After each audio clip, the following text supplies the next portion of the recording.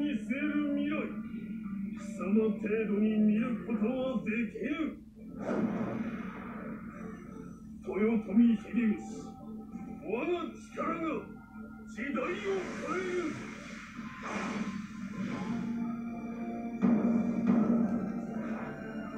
ご経験我とお前の進む道は違う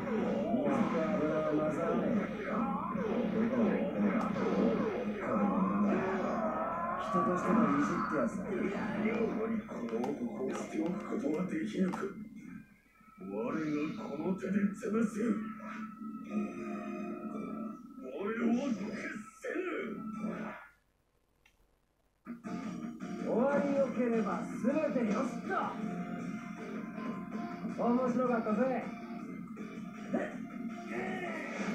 さて。酒を